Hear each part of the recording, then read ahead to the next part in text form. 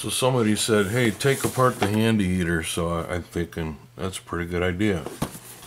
So I will. So whoever said that to me, thanks. Let's see what's inside this. Let's see if it looks safe to us. We can examine it together. This is the handy heater. I've seen on TV. I'm preparing for surgery. I think I got everything. Shadow, I want you to make a jingle for taking apart the handy heater. Okay, thanks. You have screws back here.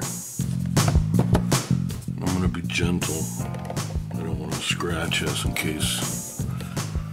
No, let's just say I don't want to scratch it.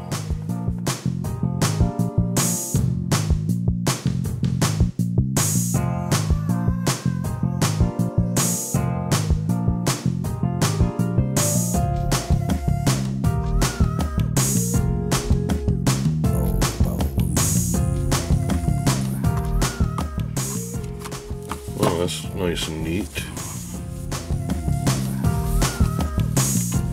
Let's go in for a tighter shot of the receptacle. So I've got two wires that I can pull off the circuit board and release this. So I'm going to mark one of them.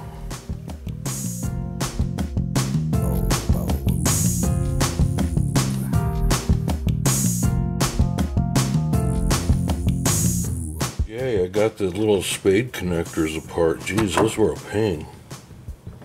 They had to pay somebody to put those stupid things on. At least they were secure.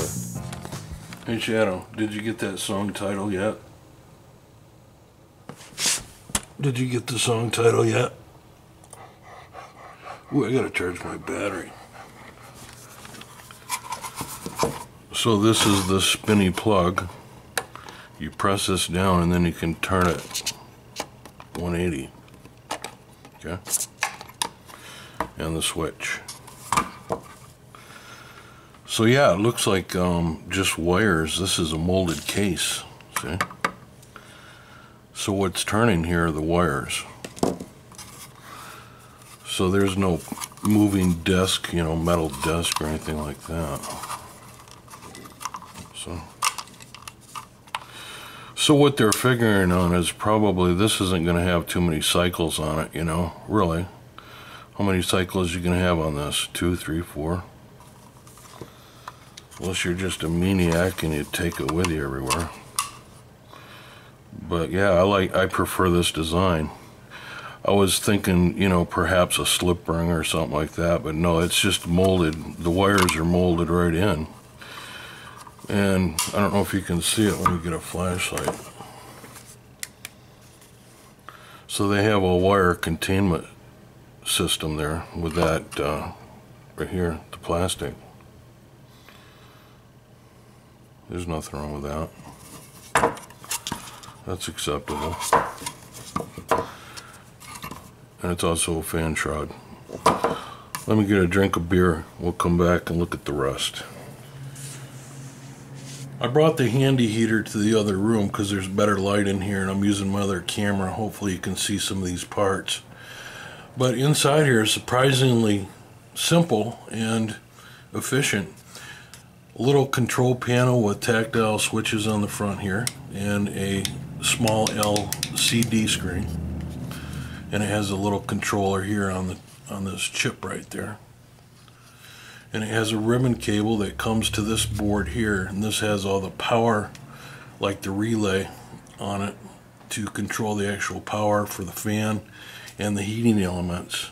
And this is a ceramic heater and the actual technology used is called PTC it stands for positive thermal coefficient. And it's a self-regulating system. So as this coil heats up for the ceramic heater, it it uh, the hotter it gets, the more holdback it has, and it actually will shut itself down when it gets so hot, depending on what temperature they've made it to break at. So really, you don't need any more temperature regulation on board. It takes care of itself. They just set it to high with full power going through there. And whatever the coil was designed at, maybe 200 to 30, something like that, Fahrenheit, it cuts itself off. So very simple. Nice looking fan on there. The fan plugs into the board. The two heating elements plug in down here. There's two of them on each side, one on each side. And then there's also this small wire here that comes up here. And that's just an LED for a small light that glows down in the bottom of this when it's on, so you can tell it's on. If you look inside here, you can see like a honeycomb shape, and that's the actual aluminum fins. But inside there's also two strips. They look white, and they come down like this. Hopefully you can see them a little bit, but that's the ceramic that's surrounding the aluminum fins.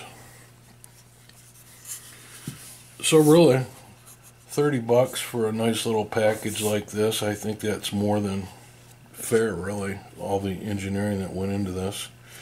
So I don't see a problem with this at all, especially with the ceramic uh, PTC element in there.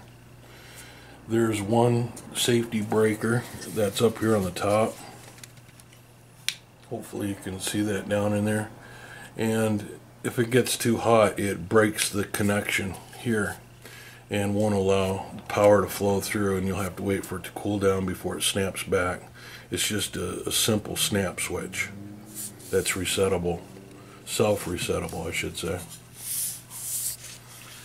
That's it for the handy heater. So the fan blows air through the shroud and directs it out the front through the ceramic and the aluminum. As far as regulation, you've got uh, just power that goes constantly to the coils and it shuts itself off. It's got a little timer and stuff like that in here. But pretty simple.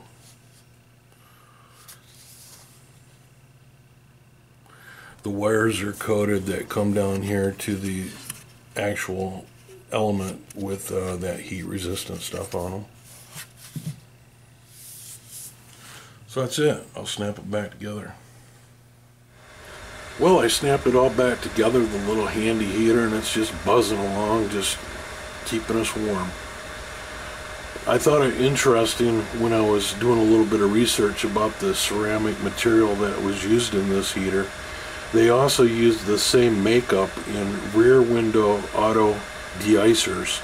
So if you have a car that you press a button and it melts glass, melts ice off your back glass, that's basically the same material that's used and it's just glued on your window in small strips. So I found that interesting. I hope you found it interesting cracking this open. Let me know if you want to see more of them. I like showing them. It's fun to do and leave us one of these a thumbs up down below if you like this video and I'll make more and leave a comment. Let us know how we're doing as far as if we're doing okay job on videos. We'll see you on the next one. Bye for now